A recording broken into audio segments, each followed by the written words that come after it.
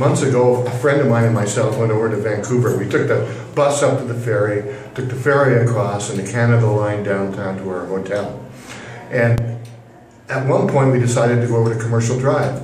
So we took the bus along Fourth, all the way over to Commercial Drive. And you know, that was the highlight of the whole trip, was that bus ride.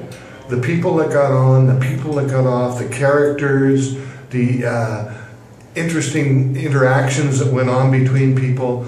I spoke to a couple of people. One fellow had a copy of the Lord of the Rings with him, and he just was holding it in such a way that he could tell it was sort of reverent to him. And I said, Oh, you're reading Lord of the Rings? And he said, I just learned how to read, and this is the book I'm learning on.